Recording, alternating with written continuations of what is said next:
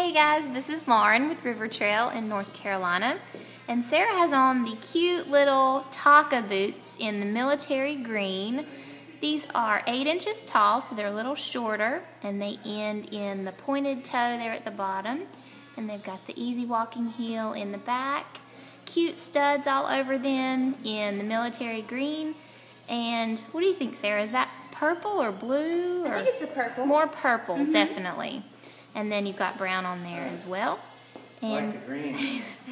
and we have a customer mentioning that he likes the green. And if you like the old Gringo Taka military green boots, you can get them at rivertrailmercantile.com.